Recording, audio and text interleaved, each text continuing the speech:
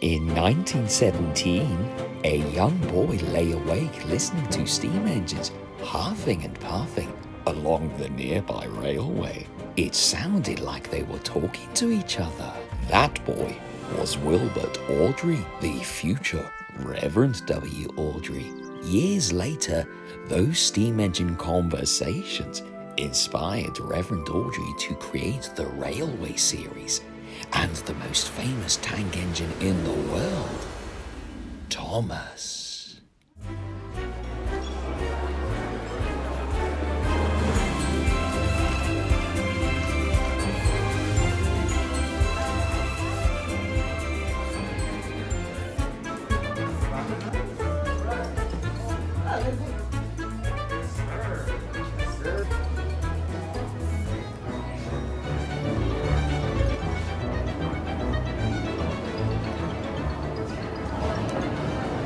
Yeah.